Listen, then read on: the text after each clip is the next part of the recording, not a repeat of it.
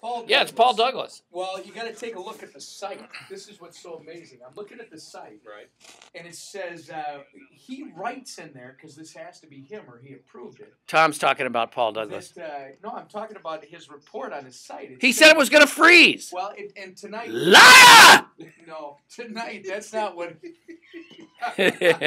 Welcome back to the two minute updates from the Bob Davis podcast. Today we're going to talk about why Paul Douglas is a liar. He puts in there that it's two weeks early in Minnesota. It feels great though. I got to say, it is. Yeah. It is. I love, and it is early, and I think we're going to have an early winter. Boston first freeze. I Huh? think that, you know what? There could be the way they play the game. Okay, there's a lot to talk about this morning. Right now, we're talking about Paul Douglas and his freeze warnings. He's a liar. Um, he is a liar. uh, the Republicans won in New York 9 uh, last night. That is the big story this morning. We'll talk about that. Uh, we will also talk about uh, the numbers. Bloomberg's got a new poll on Obama, and it's terrible. Terrible. We'll talk about that. Uh, what else? Oh, I've got to mention this.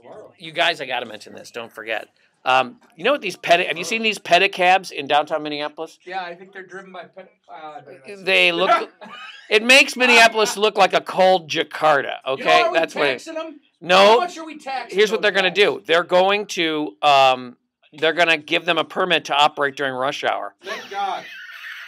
Welcome to friggin' Indonesia. Okay, I don't want. This is not Thailand. dream. If I want Thailand, I will. I if if I want Thailand, you know what I'll do? If I will, I will go and I will take a vacation to Thailand. We'll talk about this and more. A crazy update from the Bob Davis podcast. Join us at six at Twin Cities News Talk AM eleven thirty. Uh, and by the way, our call letters KTCN, not KTLK. We got new callers, so we'll talk. We'll talk about that, but probably not. So join us at six. We'll see you then.